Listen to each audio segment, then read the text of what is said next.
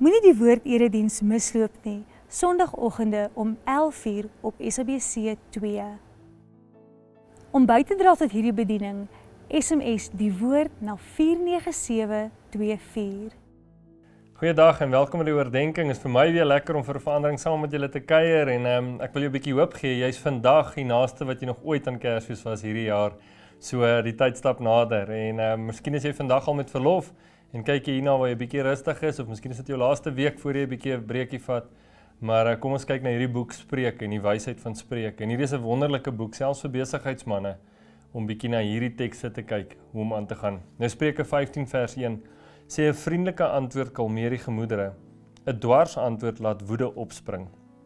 Nou hierdie is weer een van daai hyena tekste wat jy net woe, want dit is so moeilik. Ehm um, net self vandag uh, word 'n ou gekonfronteer met konflik van iets wat by die werk gebeur of iets wat by die huis gebeur en en net in daai oomblik verloor jy dit. Wat jy jou emosie neem net oor en soos ons altyd sê wanneer emosie hoog is, is die IQ laag en ons sê goed wat ons nie wil sê nie en ons doen dinge wat ons nie wil doen nie, maar hier kom spreek en hy sê onthou net altyd. Maak nie saak wat die konflik veroorsaak nie, 'n vriendelike antwoord gaan hierdie ding omswaai. En is baie keer die dwars antwoorde wat jou gekry het om in konflik te kom. En daarom waarsku spreek ons hier teen en sê moenie wanneer jy 'n dwars antwoord kry, dit met 'n dwars antwoord terugantwoord nie. Gee dan 'n vriendelike antwoord en dit gaan die hele situasie ontlont En later gaan jy bly wees. Ek weet jy gaan dan by die vuur wil sê, "Oeg, ek moes dit en dit gesê het." Maar jy gaan bly wees en en God gaan glimlag oor dit wat daar gebeur het want die ander persoon gaan ook weet hierdie persoon het op 'n goddelike manier opgetree. So ek weet hierdie is een van daai moeilike houtjies, maar hoe hanteer jy konflik? Hoe het jy vandag of die laaste week konflik hanteer veral hierdie tyd van die jaar wanneer almal bietjie moeg is en die jaar is net bietjie te lank? Kom ons hou vas in Spreuke 15 vers 1 en onthou dat 'n vriendelike antwoord gaan hierdie ding ontlont. Kom ons bid saam.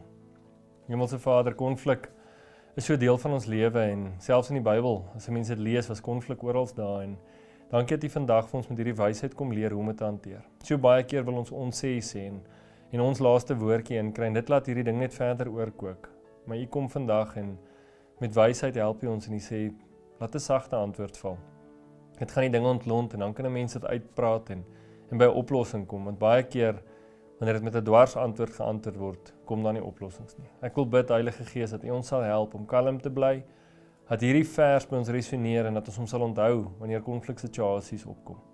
Hierdie konflik is goed wanneer dit by 'n oplossing kom, maar dis die manier hoe ons dit doen en mag ons dit doen wat U naam verheerlik. Ek bid dit in Jesus naam. Amen. Sterkte met jou konfliksituasies en ehm um, mag Spreuke 15 vers 1 in jou agterkop bly wanneer dit voor jou deurstop. Lekker dag verder. Totsiens.